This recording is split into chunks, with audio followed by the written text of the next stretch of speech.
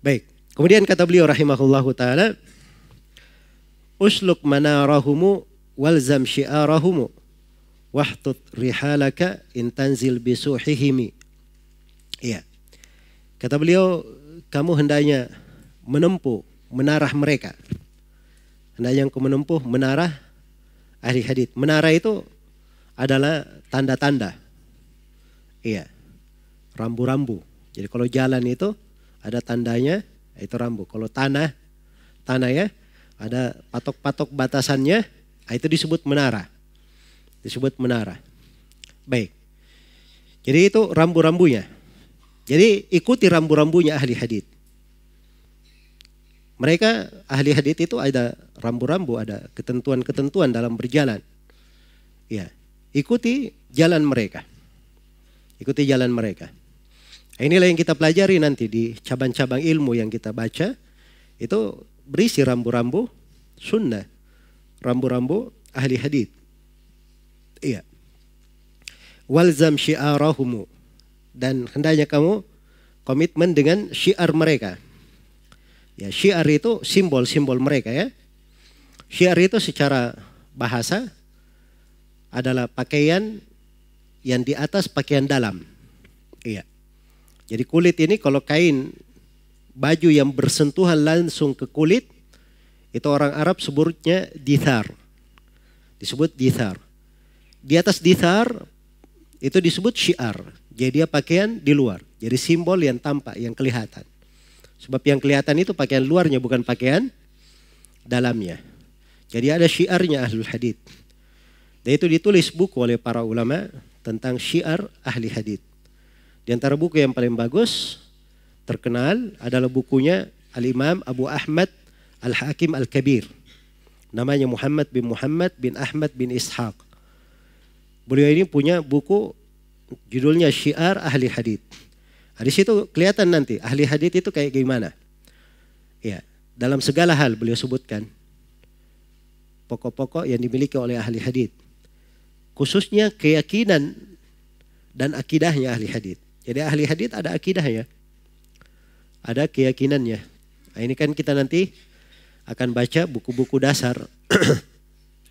ya mungkin tahap awal kita kan buku yang di program ini itu semuanya dasar ya. Nanti di tingkatan berikutnya kita akan baca akidah-akidahnya ahli hadith. Iya. Jadi ilzam syiarahumu. Kemudian kata beliau wahtut rihalaka intanzil bisuhihimi. Dan hendaknya kamu apa namanya tambahkan dari kendaraan-kendaraanmu dari tungganganmu kamu letakkan mereka kamu ikat. Kalau kamu turun di halaman mereka. Kalau kamu turun di halaman mereka atau di tempat mereka. Jadi kalau seorang sudah mendatangi halamannya ahli hadith tempatnya ahli hadith sudah kalau dia berkendaraan kendaraannya ikat simpan di situ ya Kemudian dia masuk ke majelis ahli hadith. Begitu maksudnya. Baik. Dan ini uh, pembahasan dari penulis ya. Bahwa seorang kalau masuk di majelis ahli hadith, dia duduk lama di situ. Duduk lama. Iya. Dia mengambil ilmu. Dia gunakan kesempatan. Dia gunakan kesempatan. Karena itu subhanallah para ulama ada yang mulazama dengan gurunya sekian tahun yang saya sebutkan tadi. Ada yang nggak bisa seperti itu. Tapi dia datang ke negeri itu berulang kali. Berulang kali. Dia lakukan perjalanan bolak-balik. Berulang kali. Iya. Karena itu kalau kita baca akidah Imamul Bukhari. Akidah Abu Hatim Ar-Razi. Abu Zur Ar-Razi. Itu mereka sebutkan. Dia sudah mendatangi negeri ini, negeri ini, negeri ini, negeri ini sudah sekian kali dia datangi, negeri ini sudah sekian kali. Nah, itu keadaan mereka. Luar biasa. Dia tempuh dengan kadang berjalan kaki. Ada sebagian ahli hadith tidak mau dia pakai kendaraan, dia ingin berjalan kaki. Supaya dia hitung dari kebaikan-kebaikannya. Ada yang menghitung langkahnya. Saya sudah melangkah ke negeri ini sekian apa parsah. Parsah ini ukuran berapa kilo gitu. Dihitung kilonya, langkah-langkah mereka. Nah, saking uh, semangatnya mereka dan besarnya harapan mereka di dalam mencari hadith. Baik, kemudian dari sifat mereka juga humul udulu li hamlil ilmi kaifa wahum ulul makarimi wawnya dibaca ya ulul makarimi wal akhlaki wasyami ya humul udulu ahli hadith ini mereka adalah orang-orang yang adil li hamlil ilmi di dalam menyandang ilmu Kaifa wahum? Bagaimana tidak? Sementara mereka itu ulul makarimi. Ulul makarimi wal akhlaki wasyami. Orang-orang yang memiliki kemuliaan-kemuliaan, akhlak-akhlak dan budi pekerti yang sangat baik. Iya. Ini sifat berikutnya. Saya poinkan di sini ahlul hadith umul udul. Ahli hadith orang-orang yang apa? Orang-orang yang adil.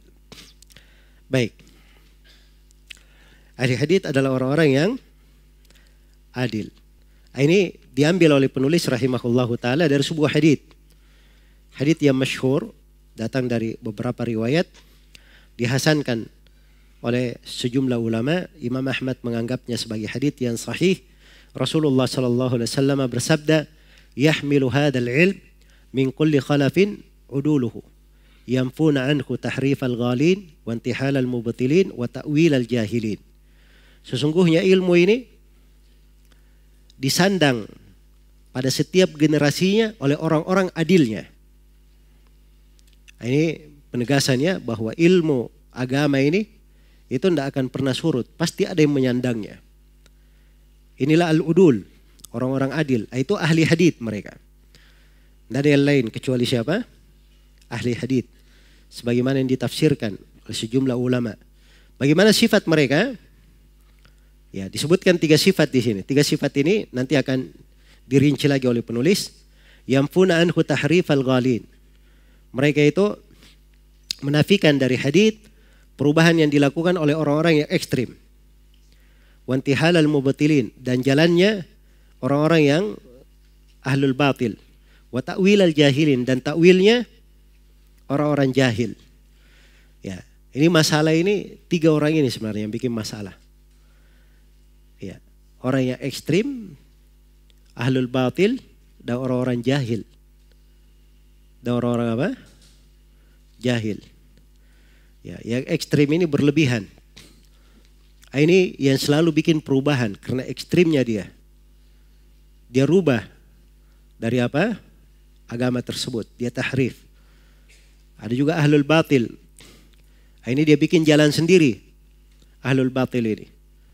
Dia bikin jalan sendiri. Dan ada orang-orang jahil. Ya sembaran saja mentakwil. Sembaran dia menafsirkan. Sembaran dia memaknai. Karena kejahilannya. Nah, ahlu hadith ini mereka yang menjaga agama ini dari orang-orang yang seperti ini modelnya. Itu tugasnya para ulama. Iya, tugasnya para ulama. Jadi orang-orang yang berilmu lah yang menilai ini orang ekstrim, ini orang apa namanya, ahlul batil, ini orang-orang jahil. Nah, itu kelihatan. Iya. Kelihatan. Baik. Imam Ahmad rahimahullahu taala punya pembicaraan yang bagus ya di muqaddimah beliau di khutbah beliau dalam bantahan terhadap kelompok Jahmiyah. Kata Imam Ahmad, Alhamdulillahilladzi ja'ala fi kulli zamanin fatratin minar rusul baqaya min ahli ilm yad'una man dhalla ila al-huda wa yasbiruna minhum ala al-adha yuhyuna bi kitabillahi al-mauta wa yubassiruna bi kitabillahi ahla al-ama kata beliau segala puji hanya untuk Allah yang menjadikan pada setiap zaman ya ada sebuah fatrah dari zaman itu dari para rasul baqaya min ahli ilm. Ada yang tersisa dari para ulama, dari orang-orang yang berilmu. Yad'una man dhalla ilal huda. Mereka menyeru orang-orang yang tersesat kepada petunjuk. Nah, ini tugasnya para ulama. Orang yang tersesat diajak kepada petunjuk. Karena memang itu sifat ulama, orang yang berilmu. Ya, bukan orang yang sudah mau belajar, sudah mau kenal sunnah, ya semakin dia tendang. Ada sebagian orang seperti itu ya. Ya. Dia punya kawan sudah mengenal sunnah, ribut. Akhirnya apa? Bagaimana caranya orang ini dijatuhkan? Dikeluarkan dari sunnah. Nah, ini orang yang kelihatan buruknya dari niat dan akhlaknya. Dan bukan seperti itu sifatnya ahli hadith. Mereka menyuruh orang yang tersesat kepada petunjuk. Iya, orang kafir saja mereka aja kepada Islam. Apalagi orang yang sudah apa?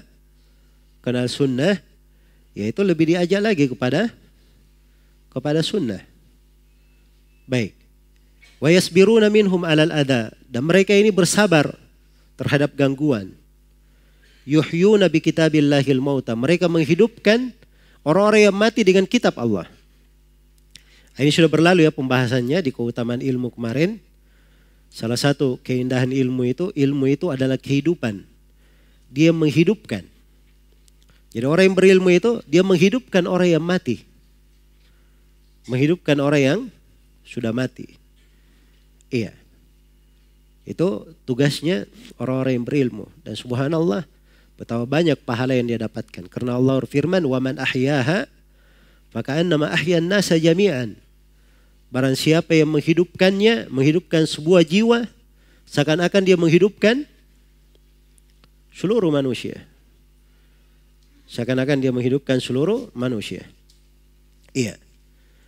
Karena itu di masa dahulu, itu ilmunya ahli hadith betul-betul disebarkan oleh manusia. Kecintaan mereka sebab mereka tahu bahwa ahli hadith itu itu menghidupkan orang dan kebaikannya banyak. Ini bagi siapa yang mengenal arti dari amalan salih. Arti dari amalan salih. Kemudian kata beliau bi kitabillahi ahlal ama. Dan mereka dengan kitab Allah membuat orang yang buta itu menjadi melihat. Ya. Sebab kalau dia jauh dari petunjuk buta namanya. Ketika mereka terima Al-Quran, ah, mereka menjadi melihat. Kam min qatilil li iblis qad ahyauhu. Betapa banyak orang yang terbunuh oleh iblis mereka hidupkan. Sudah terbunuh, mati oleh iblis. Mati dengan bid'ah, dengan kesatan, dengan dosa, dengan maksiat. Dihidupkan oleh siapa? Ahli hadith. Wa kam min ta'ihin dhalin qad hadau. Betapa banyak dari orang yang terlantar, tersesat, itu mereka beri hidayah, mereka beri petunjuk, ditunjuki jalan. Iya. Pama ahsana atharahum ala nas. Betapa baiknya pengaruh ahli hadith di tengah manusia. Tapi sebaliknya wama akbaha atharan nasi alaihim. Tapi betapa buruknya balasan manusia terhadap mereka. Iya. Itu sering terjadi ya. Orang-orang yang bagus, orang-orang yang menyebarkan kebaikan malah dibalas dengan hal yang apa? Hal yang tidak baik. Iya. Walaupun akibat yang terbaik untuk orang-orang yang bertakwa. Yumfuna an kitabillahi tahrif al-ghalin wa intihal al-mubtilin wa ta'wil al-jahilin. Mereka menjaga kitab Allah dari perubahan orang yang ekstrim, jalannya orang-orang yang batil, ahli batil, dan takwilnya orang-orang jahil. Baik. Ibnu Abdul Bar rahimahullahu taala memberikan ketentuan tentang al-udul ini, ahli hadith ini. Kata beliau wa kullu hamili ilmin ma'rufil inaya bihi fahu adlun. Setiap penyandang ilmu dikenal perhatiannya dengan ilmu, maka dia itu adalah adlun, orang yang adil. Mahmulun fi amrihi abadan alal adalah. Asal perkaranya dia di atas keadilan hatta tatabayyana jarhatuhu fi halihi sampai kelihatan dia itu ada celaan di keadaannya. Baik. Jadi kalau ahlul ilm asalnya kepada orang yang berilmu dia adil kecuali kalau nampak darinya bidah, nampak darinya celaan baru itu keluar dari asal. Baik. Kemudian kata beliau rahimahullah, humul afadilu hazu khairu manqabatin humul ula bihimud dinul hanifu humi.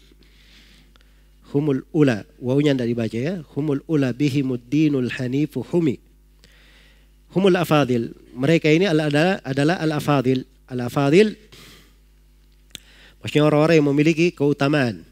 hazu khairu manqabatin. Mereka mendapatkan sebaik-baik gelar, sebaik, sebaik-baik kedudukan, predikat. Iya. Jadi kalau dapat predikat, mereka yang paling memiliki mangkobah ahli hadith ini. Ya. Humul ula bihimud hanifu humi. Ya, di situ ada kekeliruan ya di cetakan kita. Wawunya itu tidak ada di situ ya. Dihapus wawunya. Sebab di situ uh, ula itu artinya alladina. Humul ladina bihimud dinul hanifu humi. Mereka yang apa namanya? Dengannya agama yang lurus ini terjaga. Baik. Jadi ini saya poinkan ya, hum humatul hadith. Mereka ini penjaga hadith. Ahli hadith ini. Dengannya agama itu terjaga. Mereka yang menjaganya. Jadi kalau ada yang membuat kekeliruan, membuat penyimpangan, nah mereka ini yang menjaga. Membantah kekeliruan tersebut, menjelaskan dari sisi-sisi kekeliruannya, meruntuhkan dari kebatilannya, menjelaskan kepada umat yang benarnya. Dan ini pekerjaannya ahli hadith. Pekerjaannya ahli hadith. Baik. Humul jahabidatul a'lamu ta'rifuhum bainal anami bisimahum wa wasmihimi.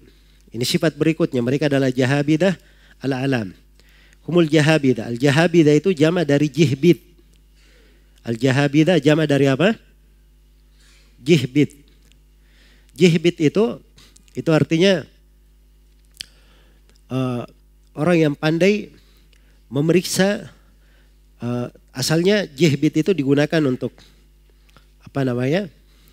orang yang pandai terhadap uh, perkara-perkara, kedalaman sebuah perkara yang pandai mengenal, uh, membedakan antara yang baik atau tidaknya sesuatu. Jadi kalau misalnya ahli mata uang, kalau dikatakan jihbit, ah, itu dia pandai membedakan uang asli dengan uang apa? Uang palsu. Ya baru dia pegang saja, dia sudah tahu ini asli, ini palsu. Kalau dia ditanya dari mana kamu tahu itu asli? Ya, kadang dia tidak bisa menerangkan. Ya. Sebab keahliannya. Kadang dia sulit menafsirkan. Ya. Bagaimana ya saya terangkan sama kamu. Tapi ini asli. Begitu saya dia bilang. Ya. Kalau ditanya kenapa kamu bilang palsu? Apa buktinya? Ya. Saya sudah tahu yang penting ini palsu. Begitu saya. Nah, itu jihbit namanya. Sama ahli hadith seperti itu. Subhanallah orang yang sudah betul-betul mengerti hadith itu jihbit. Iya. Dia pandai membedakan antara hadith yang sahih dan tidak sahih. Karena itu datang seorang kepada Abu Hatim Ar-Razi. Dia bertanya beberapa hadith. Abu Hatim berkata ini hadith batil. Ini hadith mungkar. Ini hadith daif. Orang ini berkata dari mana kamu tahu itu? Ya. Kata Abu Hatim, Ya bagaimana saya terangkan sama kamu? Yang jelas itu yang saya ketahui. Ya kalau kamu mau tahu ilmu ini, coba datangi orang yang semisal saya. Tanyakan hadith yang sama. Maka kelilinglah dia kepada ahli hadith di negeri itu. Ada Abu, Abu Zur Ar-Razi, ada Muhammad bin Muslim bin Wara, beberapa ahli hadith dia datangi. Jawabannya sama. Ya. Maka kata Abu Hatim, ya itulah ilmu kami.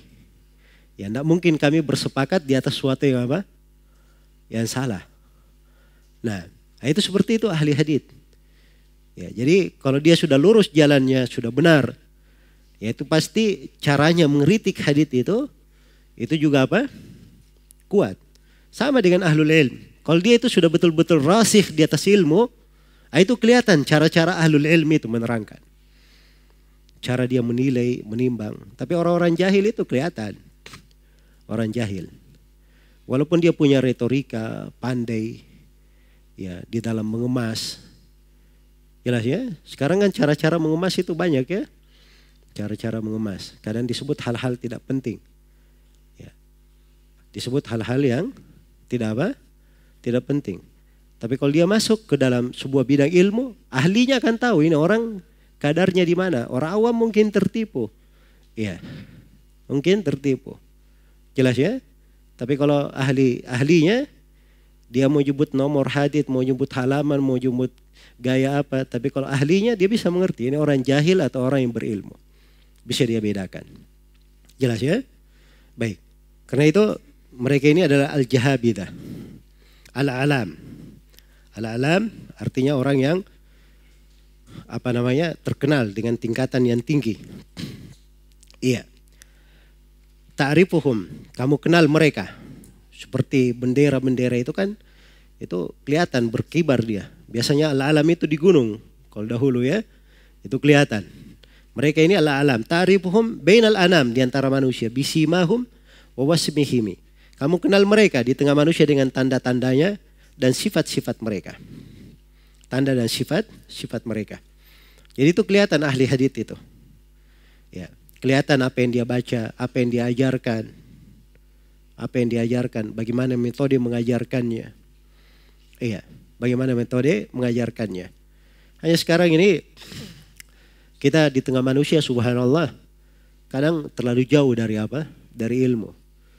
Jadi kadang sebagian ilmu itu kalau diterangkan banyak orang lebih tidak paham. Ya, misalnya kebiasaan ahli hadith ya, mereka baca hadith-hadith itu dengan sanat-sanat.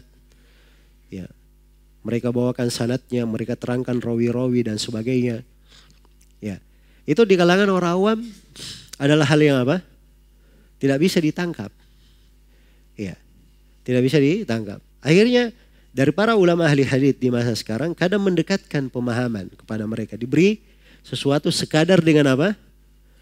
Yang mereka pahami. Sekadar yang mereka pahami.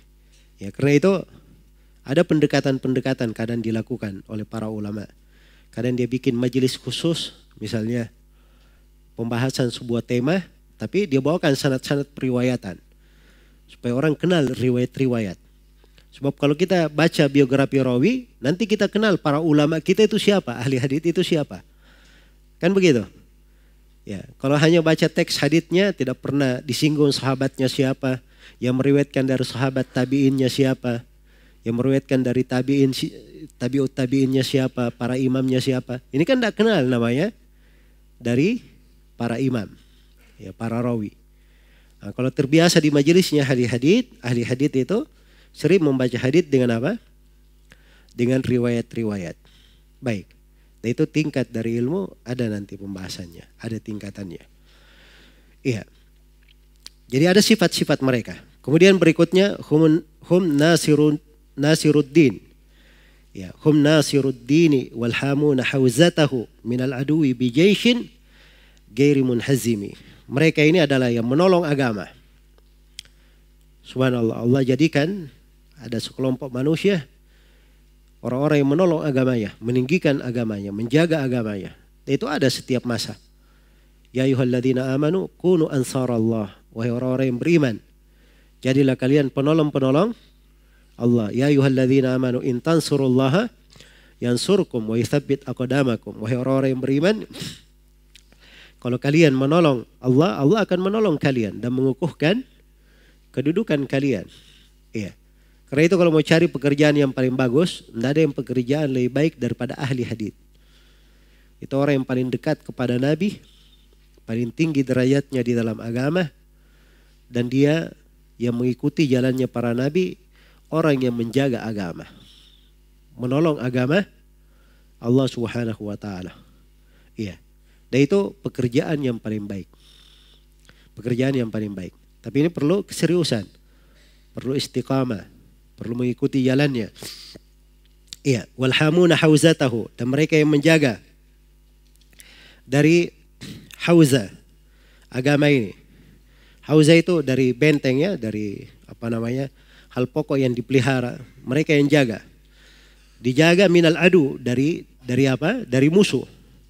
Mereka menjaganya bijaishin dengan bala tentara gairi munhazimi, bala tentara yang tidak terkalahkan. Karena ilmu itu hujah dengan ilmu itu seperti bala tentara. Ya, karena itu seorang alim dia sendiri. Badannya yang sendiri. Tapi dia punya tentara-tentara tidak terkalahkan. Itulah hujah-hujah apa? Hujah-hujah ilmu. Ya, hujah-hujah ilmu. Karena itu kaum Khawarij Didebat oleh Ibnu Abbas. Ibnu Abbas sendiri. Ya. Didebat oleh kaum Khawarid. Mereka rujuk 2000 orang. Padahal jumlahnya tadinya berapa? 6000. Demikian di kebanyakan riwayat ya. Ibnu Katsir di Al-Bidayah wa Nihai menyebutkan rujuk 4000 orang. Eh, jadi punya kayak tentara. Kayak pasukan, tidak terkalahkan. Karena Allah telah berfirman di dalam Al-Qur'an, "Walaqad sabaqat kalimatuna li'ibadinal mursalin innahum lahumul mansurun wa inna jundana lahumul ghalibun." Sungguh kami, sungguh telah terdahulu kalimat kami kepada hamba-hamba kami para rasul. Bahwa mereka adalah orang-orang yang ditolong. Dan tentara-tentara kami itulah yang selalu menang. Tentara-tentara kami selalu menang. Karena itu tidak perlu khawatir. Iya. Sepanjang seorang itu berpegang dengan ilmu, dia punya hujah, punya tentara yang apa? Tidak terkalahkan. Humul buduru lakin la ufula lahum balis syumusu qad faqu binurihimi. Ah, ini sifat berikutnya. Ya, mereka ini matahari-matahari dan bulan-bulan. Subhanallah.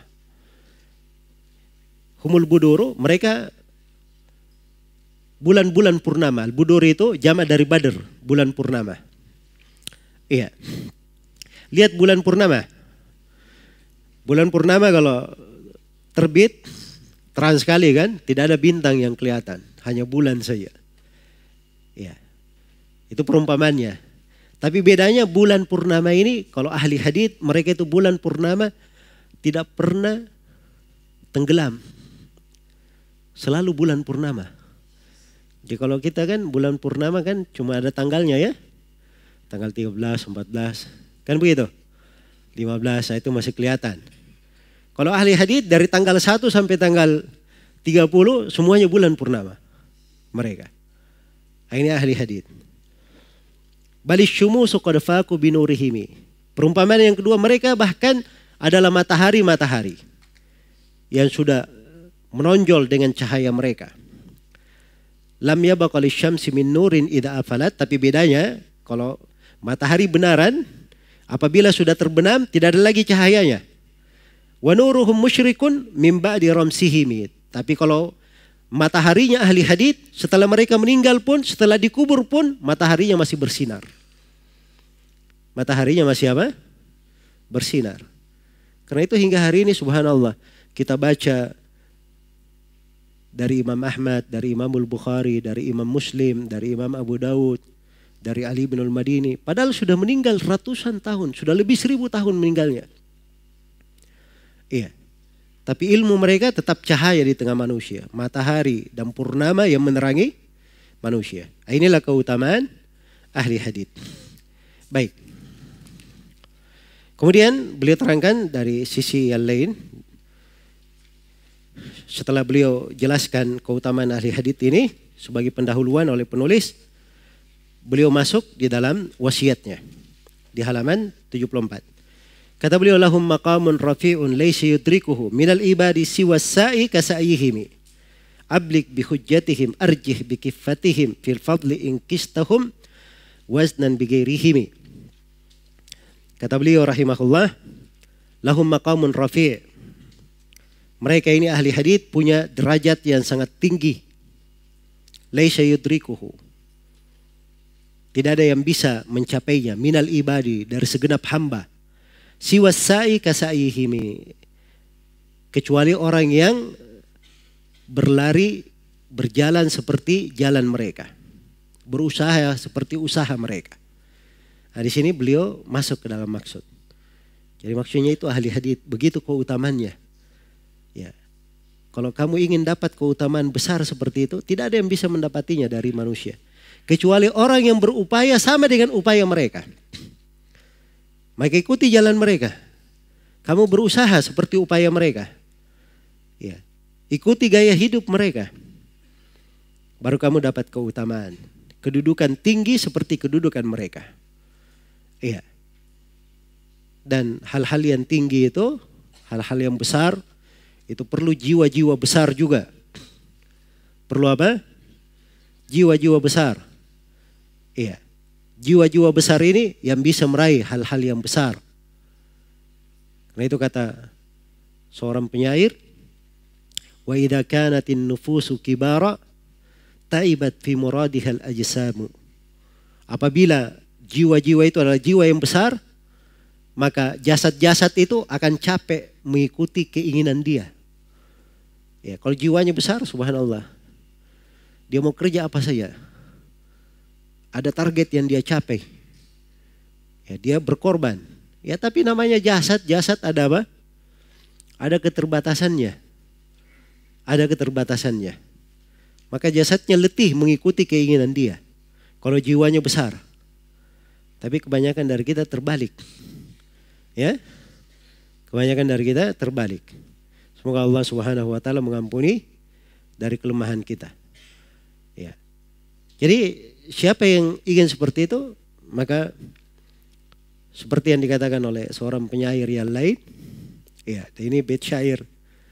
Syekh hafal dari Syekh Mukbil rahimahullah banyak diulangi.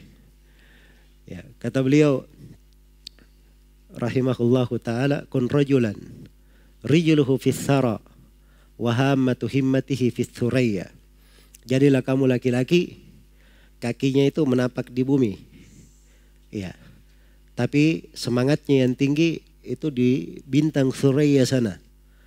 Berada di bintang. Semangat dia. Nah, seperti itu. Seorang di dalam apa? Di dalam berjalan. Kalau ingin dapat kedudukan seperti kedudukan ahli hadith maka itu harusnya orang yang berusaha seperti usaha mereka. Iya. Makanya kita akan baca di sini ya sebagian dari akhlak ahli hadith. Kemudian kata beliau rahimahullah, jadi ini pembahasan pertama al-maqamur rafi li ahli ilm. Kedudukan yang tinggi bagi orang yang berilmu, maksudnya dari ahli hadith. Kemudian yang kedua balagatu hujjati ahli ilm wa ruhjani kifatihim. Kedalaman hujjah orang yang berilmu dan kuatnya timbangan mereka. Ahlul ilm maksudnya di sini ahli hadith. Iya, ablik bihujjatihim. Ya, kamu hendaknya berlebihan berpegang dengan hujjah mereka. Arjih bikifatihim dan beratkan timbangan mereka. Fil fadli dalam keutamaan inkistahum waznan bigairihimi. Kalau kamu bandingkan mereka dengan selain ahli hadith, pasti kamu akan mendahulukan mereka. Iya. Dan ini memang terbukti ya perbandingan antara ahli hadith dan selain ahli hadith itu selalu dibahas dari masa ke masa. Dan selalu kelihatan ahli hadith itu lebih tinggi derajatnya. Memiliki berbagai keutamaan di tengah manusia. Baik.